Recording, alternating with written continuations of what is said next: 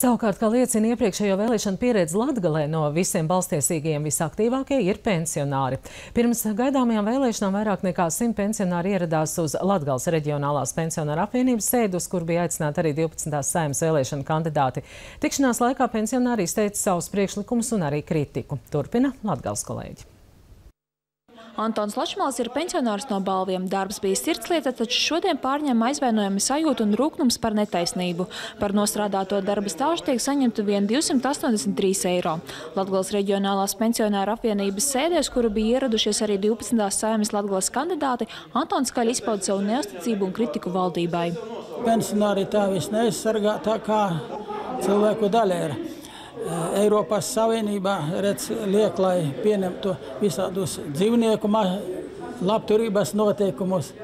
Prasa, lai cietumos uztur, uzlabotu uzturēšanās apstākļus, bet, diemžēl, par pensionāru labklājības līmeni neviens nedomā.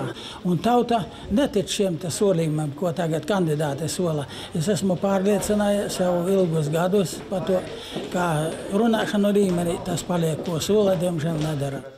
Visaktīvāk tika izskatīts pensiju jautājums. Šī gada otrajā ceturksnī vidējā pensija bija ideju 265 eiro, kas ir vien par 13 eiro lielāka par iztikas minimumu. Arī gaidāmā pensiju indeksācija pensionāriem ir neskaidra. Ar konkrētiem priekšlikumiem, kā uzlabot pensionāru stāvokli, uz sēdi ieradās 23 Latgales pensionāru apvienību pārstāvji varbūt kaut kādu mazu atlaidīti, ne, ne tikai dažām zāļu grupām, bet, bet tām, kuras biežāk pensionāra lieto, tādas, kuras nu, mazina ikdienas sāpes, tādas un fiziskās, protams. Pirmkārt jau sadarbība.